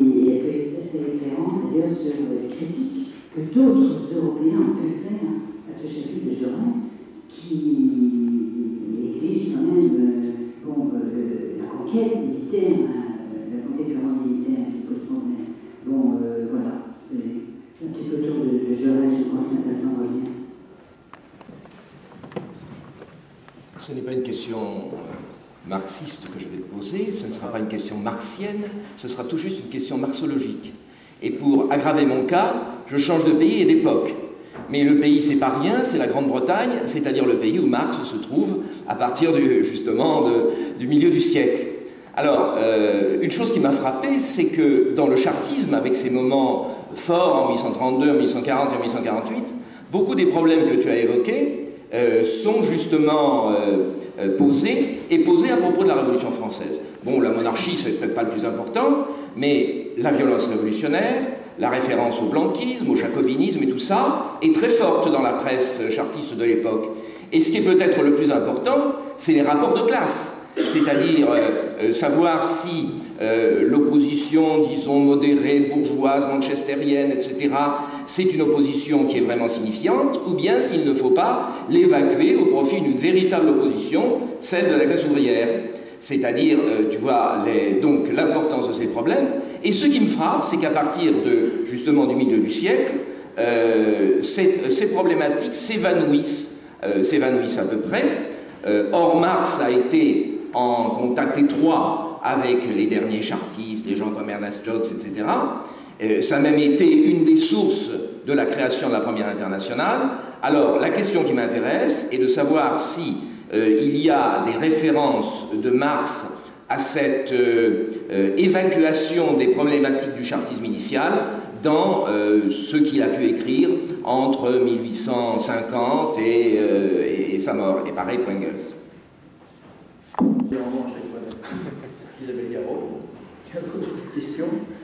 Sur l'État et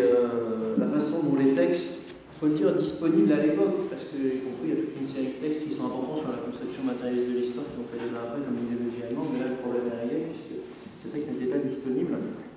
euh, du vivant, de, enfin, où il y avait quelques. Les manuscrits étaient chez Bernstein, mais il avait édité quelques bouts d'idéologie allemande, et c'est pas à partir de ça qu'on a pu développer une réflexion à une échelle de masse, évidemment. Euh, sur notamment euh, le 18 Brumaire, euh, il faut voir que le texte est euh, un petit peu au début des années 90 des éditions dans mon souvenir, et qu'ensuite il, n'est pas republié. Idem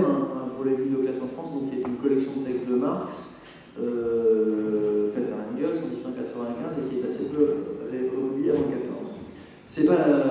le seul problème, mais il est clair que les problématiques marxiennes que tu as évoquées sur l'État la possibilité de sa destruction, y compris tous les, les, passages du Zidonner sur l'état parasitaire, etc. Toutes ces choses-là, dans ce que j'ai pu lire sur la Révolution française, euh, sont très faiblement présentes. Il y a vraiment une tradition euh, d'étatisme qui est extrêmement forte dans la social-démocratie, qui vient probablement beaucoup plus que de Marx Engels de la salle et de ce que ça a impliqué le rôle de la salle dans le mouvement réellement. Hein. Pour mémoire, enfin, le mouvement, je, je dis tout ça, c'est caricature, mais ça permet bien de comprendre des choses. Le mouvement communiste, c'est longtemps Marx Engels Lénine, plus un quatrième larron. Et euh, le mouvement social-démocrate avant 14, c'est Marx Engels Lassalle. Quand Mehring édite les œuvres euh, de Marx et Engels, et Mehring, c'est pas la droite du parti, vous le savez, euh, c'est Marx Engels et Lassalle, puisque, y compris toute la correspondance entre Marx et Lassalle est considérée comme quelque chose d'absolument déterminant et qui doit être disponible, alors que dans le mouvement communiste, les textes de Lassalle seront au contraire bannis. Hein, c'est Lukács hein, qui fait un article connu au début des années 20 sur la façon dont il faut finalement euh, exclure euh, de la réflexion, aussi d'un certain point de vue, euh, la salle, et le remplacer par les pour des raisons politiques évidentes. Mais au-delà de ça, il y a toute une série d'historiens qui ont travaillé là-dessus. Moi, c'est pas que je connais plus, c'est plus la littérature secondaire. Beaucoup considèrent que comment expliquer finalement que la social-démocratie allemande s'est ralliée à l'État en 14, mais aussi à une pratique de ralliement aux gouvernements régionaux, hein, parce que je ne sais pas parler de ça, ça aurait été trop long, mais le, premier révisionnisme, avant même le, révisionnisme weinsteinien, c'est la question de Vollmar, c'est quelqu'un qui est un social-démocrate bavarois, qui appuie les revendications des, propriétaires euh, paysans dans le cadre de l'État bavarois, qui va voter des budgets. Il y a des votes de budget très très tôt, hein, et à une époque où il y toute une tradition, on dira après, avant 14, c'était la social-démocratie révolutionnaire, c'est vraiment se voiler la face sur une série de réalités politiques élémentaires euh, de la période d'avant. Et euh, la salle qui, d'entrée de jeu, avait euh, comme doctrine politique de, rentrer dans l'État tel qu'il existait au travers, à travers le suffrage universel et de démocratiser l'État, y compris ça l'a amené très loin dans sa rencontre avec Bismarck, enfin, tous ces choses-là c'est connu. Pour en revenir aux historiens que j'évoquais précédemment, beaucoup considèrent vraiment que la salle a gagné, quelque part, la partie, euh, quels que soient les textes qui étaient diffusés de, Marx à cette époque-là. Ce qui ne veut pas dire que ce, n'était pas contradictoire, parce que d'où l'aile gauche de la social-démocratie, d'où le fait qu'aucun autre courant politique n'a réussi à émerger réellement euh, à côté de la social-démocratie avant 14, et que même ceux qui contestaient les aspects les plus étatistes de la social-démocratie restaient dans ce parti, parce qu'ils savaient que c'était là que la partie se jouait, mais de réflexion sur euh, l'État son dépérissement et le fait que c'est un organisme parasitaire, euh, il faudrait regarder de près, hein, parce y compris il y a toute une série de que je peux ne pas connaître, je mets vraiment euh, un bémol là-dessus, mais c'est vraiment après, dans la tradition communiste, que ces choses-là se reposent. Je pense que dans la tradition social-démocrate, c'est même pas que c'est tabou, c'est que c'est considéré comme. C'est pas leur problème d'un certain point de vue. Ils sont dans une telle stratégie de conquête du pouvoir, y compris Engels a ses ambiguïtés là-dessus à la fin, on l'a rappelé, que le problème de l'État ne se pose pas euh, dans les mêmes termes, y compris en l'absence de, processus révolutionnaire aussi. Euh, 1905 secoue un peu, 1905 c'est quand même un échec, et c'est justement après 1917 que tous les problèmes par rapport à l'État se reposent, parce que là, pour la première fois, un autre État émerge. Mais auparavant, euh, c'est dans le cadre de l'État réellement existant que la social-démocratie a conquis, entre guillemets, un certain nombre de choses, et c'est même l'État qui l'a octroyé hein, pour faire les assurances sociales Bismarck, etc.,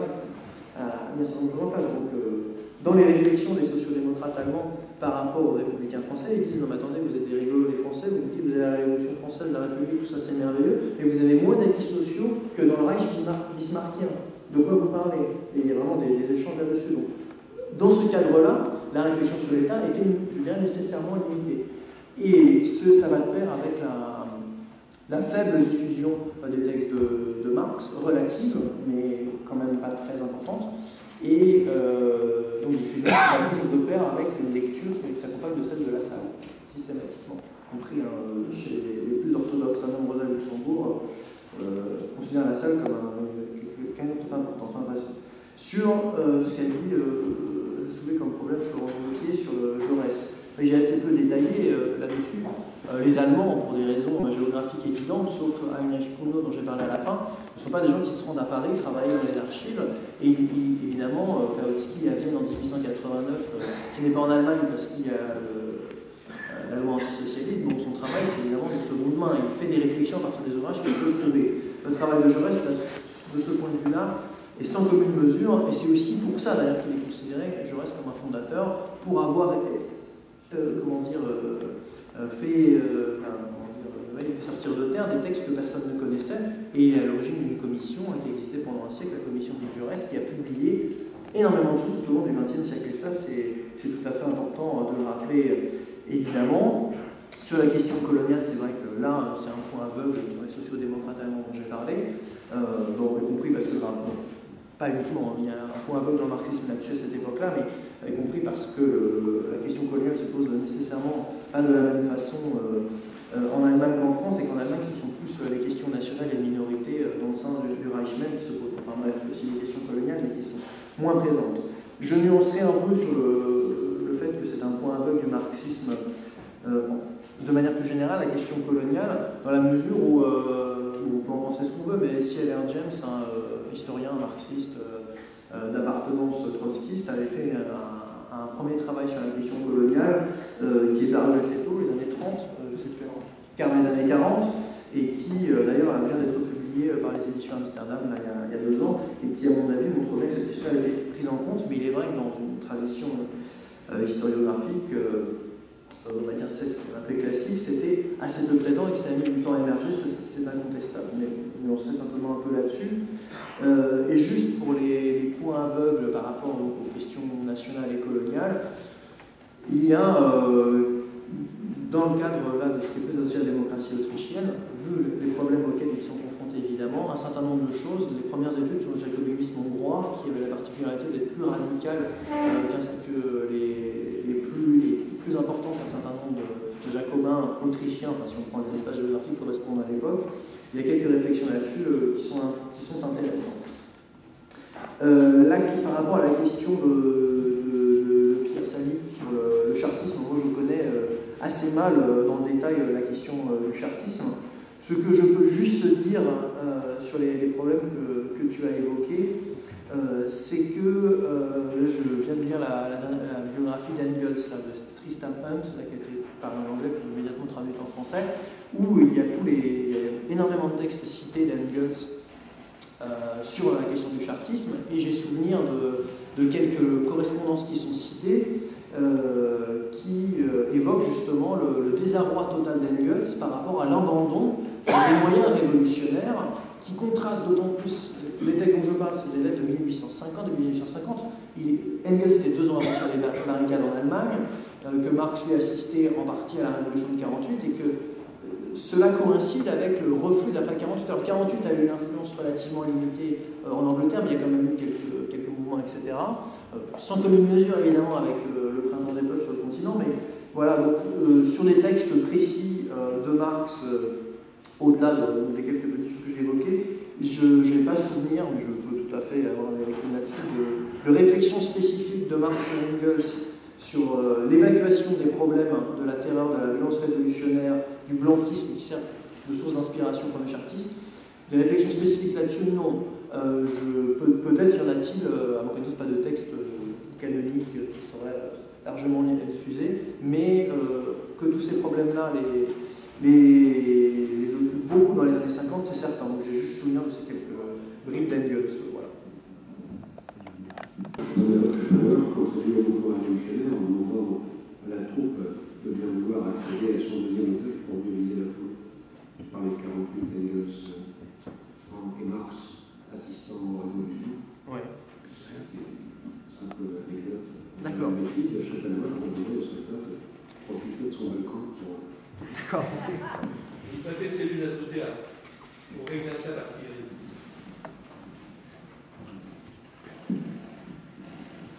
D'autres questions?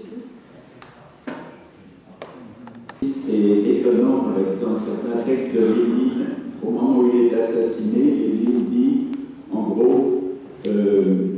vu les circonstances, on ne peut pas les approuver, mais on ne peut pas non plus euh, défendre Jaurès. Et le Parti communiste français était choqué par certains textes de Lénine concernant euh, Jaurès. Et par exemple, lisant un philosophe qui a fait trois générations, euh, qui est Lefebvre. Je n'ai pas vu citer une seule fois Jaurès, donc il était très peu cité, sauf dans certaines périodes militaires, comme le Front populaire.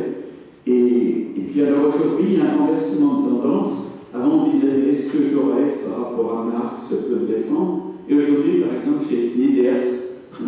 ses derniers bouquins, c'est l'inverse. Est-ce que Marx peut être défendu par rapport au point de vue jaurésien Donc c'est, exagère à peine, Jaurès qui devient le canon, et par rapport à lui, on juge si Marx et Guillette sont dans la juste ligne. Je exagère.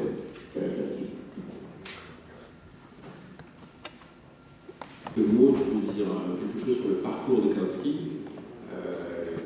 C'est-à-dire, tu as, parlé d'un texte en particulier de Kautsky. Euh, je ne sais pas si tout le monde connaît son, parcours. Moi, j'ai été surpris en regardant un peu sur Wikipédia, mais je ne connais pas la qualité de la, source, sur le fait qu'il aurait été pendant 5 ans l'assistant d'Engels. Euh, visiblement, il connaissait très très bien Engels, qu'il était un des exécuteurs testamentaires. Tu parlais d'Einstein tout à l'heure, il n'était pas le seul. Et qu'en 1917, il est écarté de la rédaction de la Nouvelle Exact, parce que trop à gauche, euh, puisqu'en 1917, dès qu'il est voté les crédits de guerre, il critique la politique allemande en disant qu'il est temps de faire la paix. Euh, et que même si effectivement il a été condamné au titre de, renégat, ce qui lui a valu euh, certainement dans le mouvement communiste d'être totalement occulté, euh, il a été aussi occulté en France par le fait qu'il ait voté les crédits de guerre. Donc finalement, aujourd'hui, euh, Kautsky, c'est inconnu. Je pense que les cas, si c'est dans la salle, du moins, peut très bien public cultivé. Aujourd'hui, Kautsky est très très mal connu, si on parle de dire un petit mot de son. Donc sur Jaurès et Kautsky, donc on les deux, dernières remarques. Non, sur Jaurès, le fait qu'effectivement, euh, il soit pris de façon euh, privilégiée comme référence par rapport à l'époque, c'est à la fois vrai et pas vrai, parce qu'il a toujours eu. Euh, enfin, il a toujours, la référence a toujours été forte euh, dans le PCF, peut-être à l'exception de la période classe contre classe, mais ils ont toujours été extrêmement prudents avec ça pour la simple et bonne raison que leur journal s'appelait L'Humanité, qui pouvait changer beaucoup de choses, mais certainement pas dire que journal avait été fondé par quelqu'un d'autre. Donc ils ont, il, a toujours, il est toujours resté une figure euh, tutélaire malgré tout, bien qu'il ait fait des heures de critique, etc. Et juste, comme vous avez parlé de Zénine, qui effectivement le, de les médias, je parle de Jaurès. J'ai dit Kautsky par l'absolu, je parle de Jaurès, pardon, ayant fondé l'humanité, vous voyez je parlais. Mais euh, oui, ce que je voulais dire, c'est que tu as parlé de, de Lénine euh, et de, sa, de, la façon dont il le voit en 14. Par contre, ce qui est non pas plus étonnant, parce qu'il compris à l'époque qu'il n'est pas euh, évidemment bolchevique, il y a le texte en revanche très apologétique de, Trotsky sur Jaurès, qui est d'ailleurs formellement en plus assez beau sur le fait que Jaurès est l'incarnation du tribunal socialiste français, que c'est une immense perte, etc. Mais dès le départ, dès son assassinat, on voit qu'il y a des lectures contradictoires sur son héritage. À, euh, par ceux qui compris Jaurès, il a cette spécificité euh, qui n'est pas très courante aujourd'hui, d'avoir quasiment en permanence évolué vers la gauche. Et ça lui laisse une postérité, euh, parce qu'en plus, bon, il est mort avant la Révolution russe, tout ça, c'est des évidences, mais c'est quelqu'un qui, après l'unification de la SFIO en 1905 sur des bases qui ne sont pas vraiment les siennes, euh, puisque formellement, même si c'est l'homme de l'unification, c'est plutôt les décidés au niveau doctrinal, c'est quelqu'un qui va chercher à discuter, à comprendre ce qu'est le syndicalisme révolutionnaire, alors que d'autres, pendant ce temps-là, euh, jugent que ce n'est pas quelque chose qui est alternatif au parti et qu'il ne, qu ne, faut même pas essayer de comprendre. Donc, euh, ce, ce, cette trajectoire-là fait que sa postérité est effectivement assez facile à, en plus à tourner dans tous les sens, puisque effectivement, comme c'est quelqu'un qui a évolué en fonction de la date du texte que vous citez, où vous pouvez un peu dire euh, tout et son contraire. Et juste, ça me refait penser ce que disait Florence tout à l'heure sur le, le, contenu même de l'histoire socialiste, y compris parce qu'il faisait ça très très vite. Euh, il peut y avoir des contradictions d'un moment ou à un autre sur ce qu'il dit sur la Révolution française en fonction des tomes, parce qu'il travaille à une vitesse extraordinaire, il fait 10 000 choses à la, fois, et que euh, même au, au niveau politique, euh, c'est quelqu'un qui, de ce point de vue-là, est un parlementaire typique de la République, qui aussi retourne ses alliances en fonction de un certain nombre. Beaucoup de choses se mêlent, mais ce qui est sûr, c'est qu'on cite beaucoup, généralement, euh, pas toujours en, le connaissant et, extrêmement bien, surtout, que, si on prend euh, une partie de, ce qu'il a fait. Euh, sur Kautsky, c'est pareil, évidemment, la connaissance de Kautsky en France est ex, extrêmement limitée, mais juste, je ne vais pas être trop long. avant 14, c'était quelqu'un qui était extrêmement traduit l'Europe centrale et orientale pour des raisons d'influence de la social-démocratie allemande, mais aussi en français. Il y a énormément de textes qui étaient traduits avant parce qu'il était considéré comme garant de la doctrine, même pour ceux qui n'étaient pas d'accord avec lui. Euh, juste précision, comme il n'a jamais été parlementaire, il n'a pas eu l'honneur de voter les critiques de guerre, comme, euh, comme il l'a dit, mais il, a, fait quand même partie des gens qui ont été très tôt euh, opposés dans le cours de la guerre 1916-1917 à, euh, à, à la guerre et, et pour ça a exclu effectivement la direction de l'armée océane pour créer le SPD. Et pendant toute une période, euh, Kautsky et a été avec les, les- futurs euh, spartakistes. Qui explique aussi l'ostracisme ultérieur, pas uniquement à la période avant 14, mais aussi le fait que c'était quelqu'un qui était, entre guillemets, euh, euh, l'aile gauche de la droite pour euh, aller vite. Donc ça le rendait d'autant plus condamnable que jusqu'au bout, on avait cru que c'était quelqu'un sur qui on avait pu compter, qui représentait toute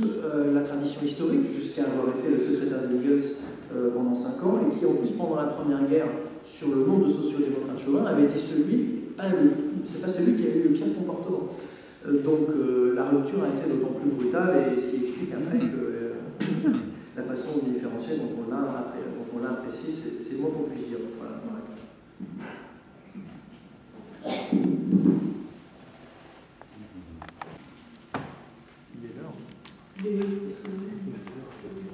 arrêtez la séance si vous avez d'autres questions. Merci beaucoup à à- merci à vous. Et je vous rappelle que la prochaine séance, euh, samedi prochain,